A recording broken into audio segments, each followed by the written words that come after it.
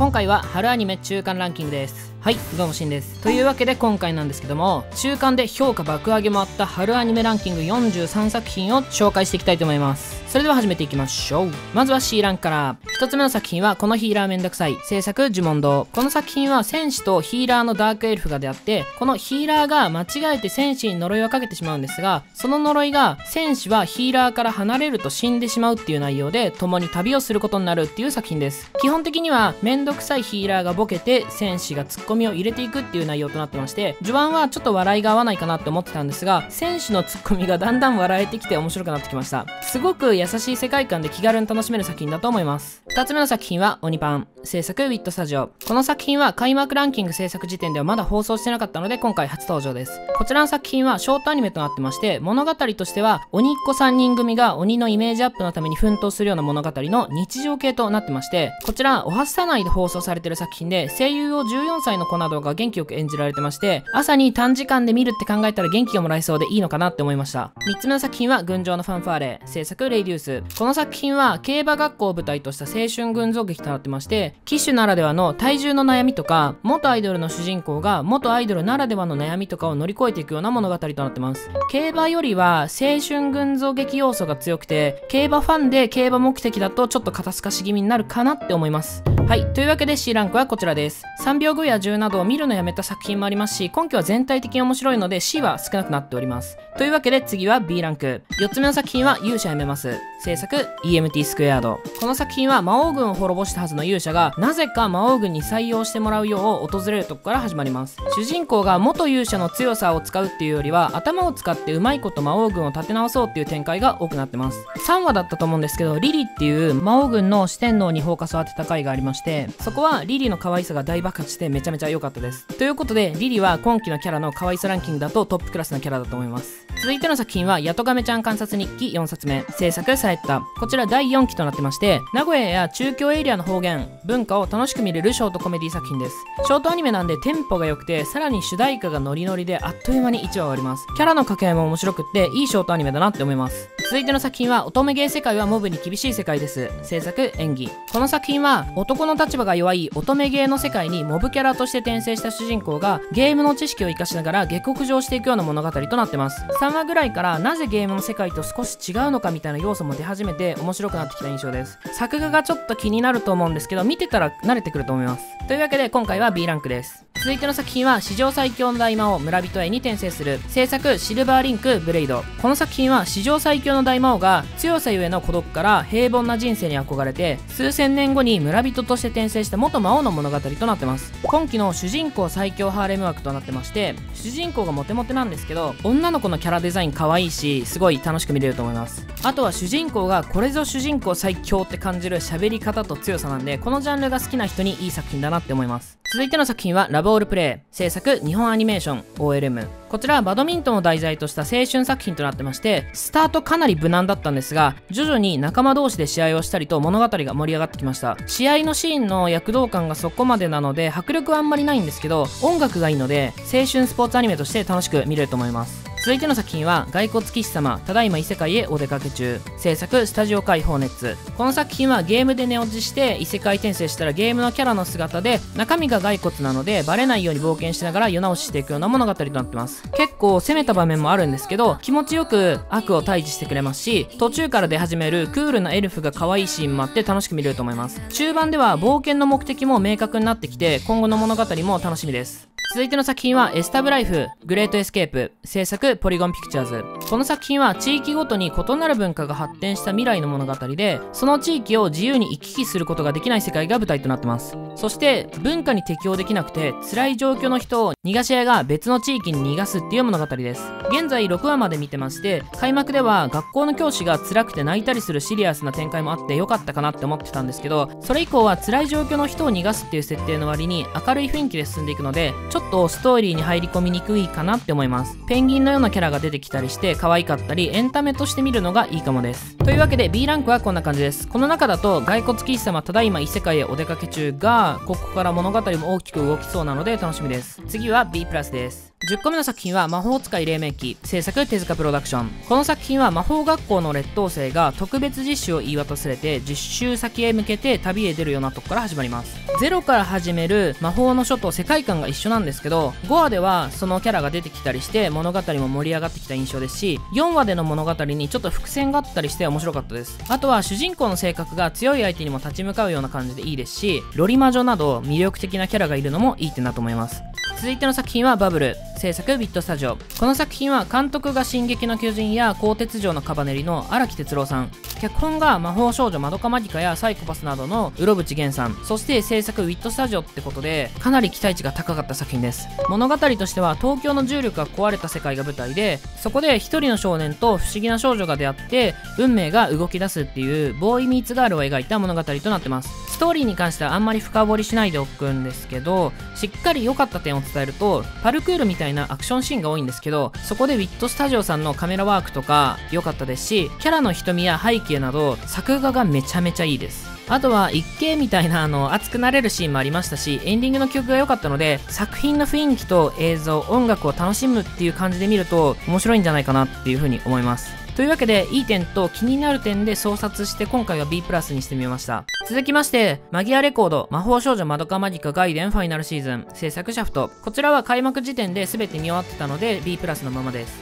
続きまして各校の稲付け制作新鋭動画シナジー SP こちら放送開始が遅かったので今回初登場です。この作品は生まれた時に取り違えられた2人の男女が言い名付けにされちゃったってとこから始まりまして作画が賛否あるんですけど僕としては力入れてるシーンとそこまでのシーンの差が大きくて視聴者さん的にそれで気になってしまってるのかなっていう風に思いました。自分的にはキャラが近いシーンではしっかり可愛く描かれてるんで問題ないかなって思ってます。どっちかというと演出面で少し違和感があったりするんですがストーリー的には楽しく見れてるんで B プラスにしてます。続きまして盾の勇者の成り上がりシーズン2制作キネマシトラス。DR ムービー。こちらは異世界に盾の勇者として召喚されてどん底まで突き落とされてから成り上がるっていうのが1期で描かれた作品で2期の開幕は新たな物語の始まりや仲間の紹介などをするようなスタートだったのでこっからに期待したいっていう意味で A にしてたんですけどやはりすでに成り上がってるのもあってちょっと盛り上がりに欠ける展開が続いたかなって思います。ただ5話ぐらいでようやく物語が大きく動いてきたので面白くなってきました。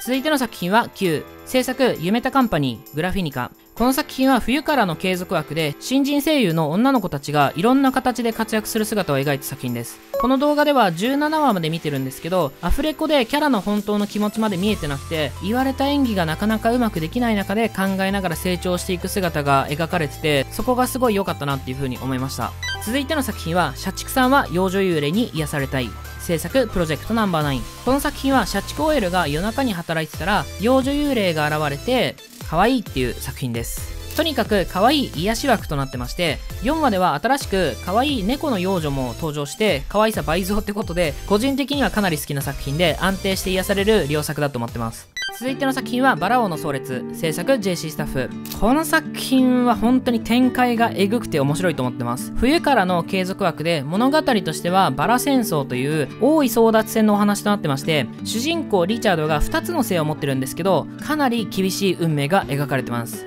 リチャードとしては王になるべく男でありたいんですけど男からも好かれますしリチャード自身も男に惹かれてしまっていたり権力争いと欲望にまみれたストーリーが本当にえぐくて全く幸せが見えない展開で続きが気になってすごいいい作品だなって思ってます。ちょっとキャラを覚えたりとかが難しいですし独特な作風ではあるんですが多分まだ見続けてる人は夢中になってるんじゃないかなって思ってます。続いての作品は RPG 不動産制作動画工房。こちらキラー作品で RPG 不動産で働く女の子たちの日常系作品です。ゆるい雰囲気でキャラが可愛いんですけど物語にシリアスな要素も入れてきて物語の続きが気になるようになってきました。というわけで個人的には続きが楽しみです。はい。というわけで B プラスはこんな感じです。自分としては B プラスですでにかなり面白い作品があるんじゃないかなっていうふうに思ってます。というわけで次は A ランク。続いての作品は可愛いだけじゃない式守さん。制作動画工房。その作品は不幸体質の彼氏と可愛いんだけど時々かっこいい彼女のラブコメ作品です。スタートはかなり良かったんですけど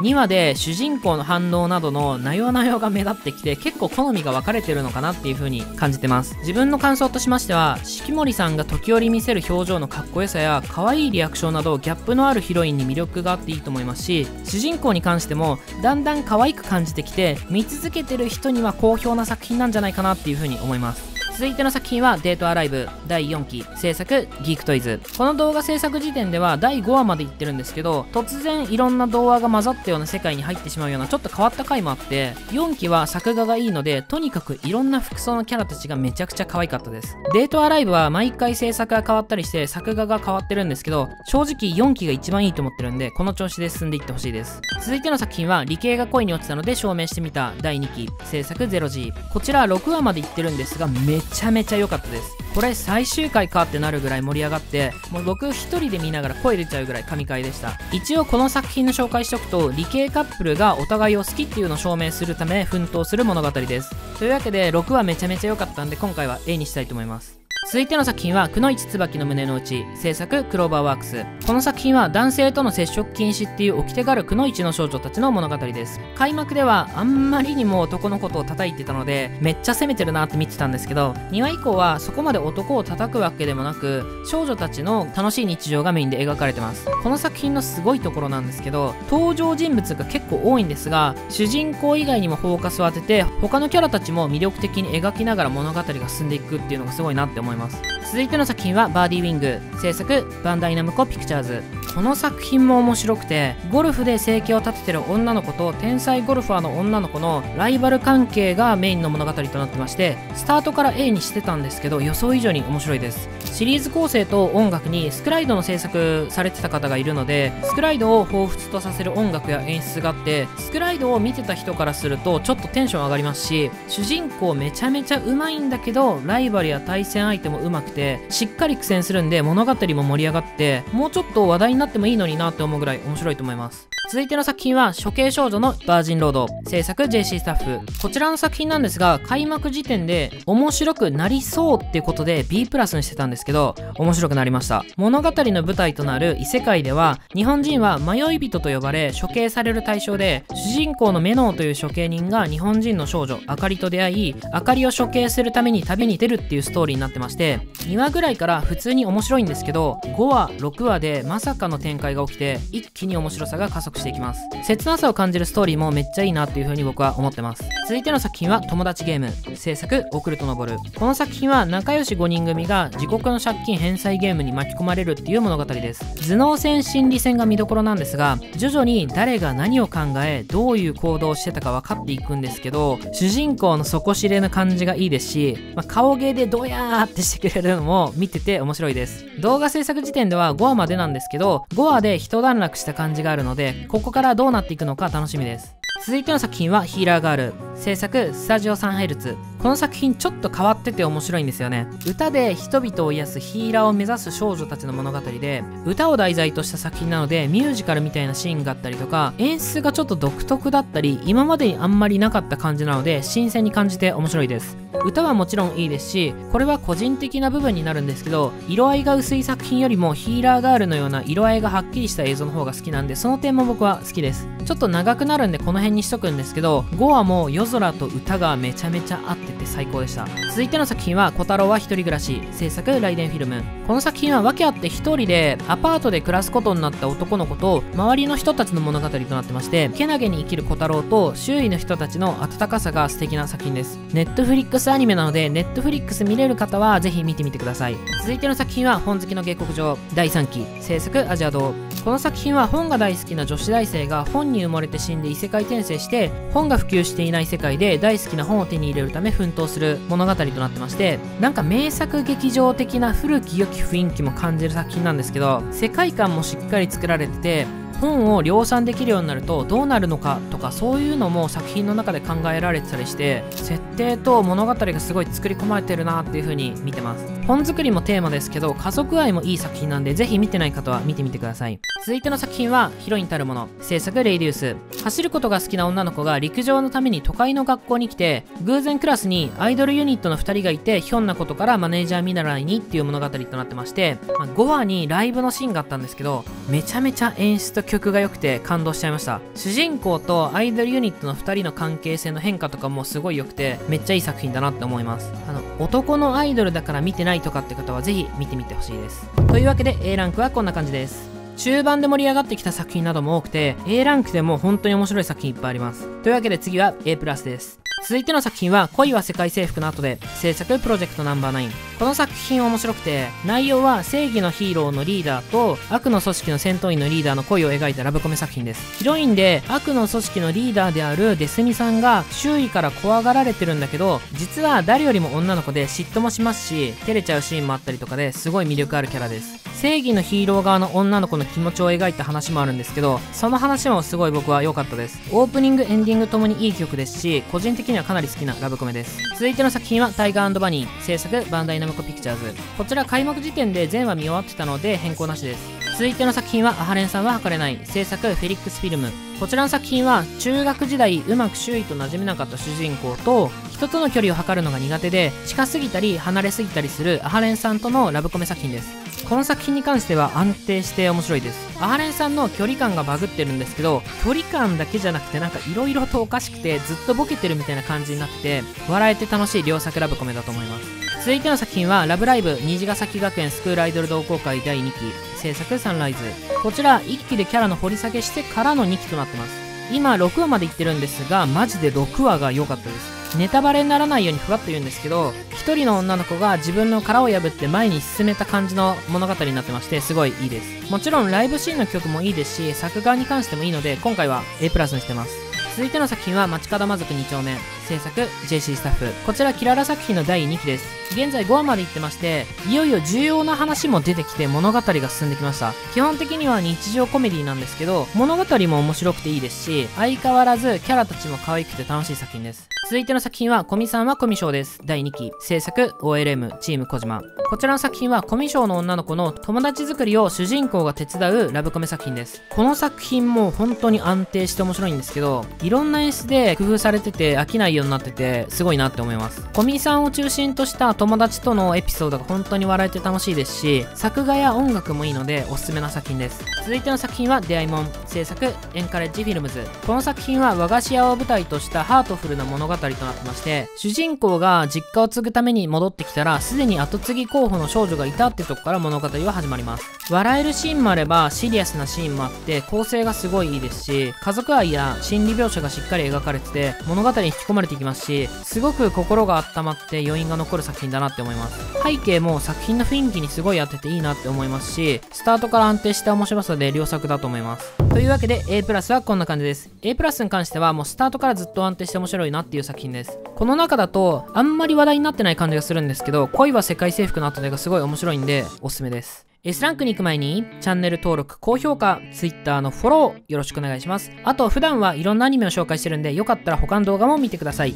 はい、というわけで S ランクです。続いての作品はパリピ孔明、制作 PA ワークス。この作品は渋谷に転生した諸葛孔明が女の子の軍師となって音楽業界に挑戦する物語となってまして、正直なところ、スタートがすごい良くて、2話以降も面白いんですけど、少しだけ失速気味かなって感じてます。ただもちろん面白いですし、栄子が可愛いですし、諸葛孔明も今度はどんな作を用意してるのかなとかワクワクして楽しく見てます。あとはエンディングの入り方がすごい好きで、4話だったと思うんですけど、A 子の歌の音源を聴きながらエンディング入るっていう演出が本当に最高でした。続いての作品は、スパイファミリー、制作、ウィットスタジオ、クローバーワークス。この作品はマジですごい人気で、もう今期で一番話題の作品だと思います。スパイの主人公がミッションのために家族を作ることにっていうストーリーなんですけど、5話がアニオリ要素多めで、4話までとは少し違うテイストの話だったんですが、まあ、ウィットスタジオとクローバーワークスっていう最強の制作会社の作画がすごい気合入ってるなって感じで、自分は面白かったです。というわけで作画ももちろんいいですし、アーニャの声優さんの演技やキャラの表情も可愛いですし、夜さんのちょっとずれた感じや、時折照れるロイドなど魅力的なファミリーがもっと見たいなってなって、すごいいい作品だなっては思ってます。